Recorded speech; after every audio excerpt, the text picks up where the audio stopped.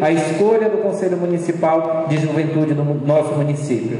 Precisamos fazer com que a nossa juventude seja protagonista da nossa história.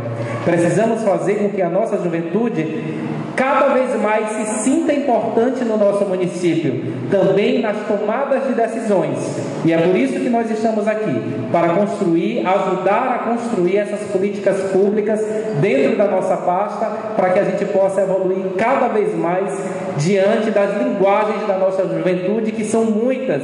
Aqui nós temos a nossa juventude da Umbanda, aqui nós temos a nossa juventude da Igreja Evangélica, aqui nós temos a nossa juventude da Igreja Católica da PJ, aqui nós temos nossos jovens também é, de tantas outras linguagens, de tantas. É, de, tanta, de tantas formas e jeitos diferentes que nós precisamos aprofundar cada vez mais e conhecer o interior de cada um para que a gente possa entender e fazer com que essas políticas públicas da juventude possam cada vez mais avançar no nosso município. O que eu posso dizer a todos é: o secretário está aberto, aberto para ouvir a todos e fazer com que a gente possa caminhar esses próximos três anos e meio dentro das nossas possibilidades e executando aquilo que a juventude quer.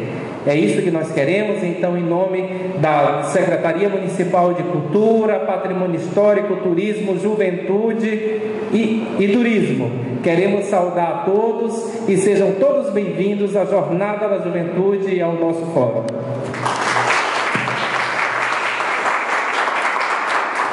Como o esporte é algo que está relacionado diretamente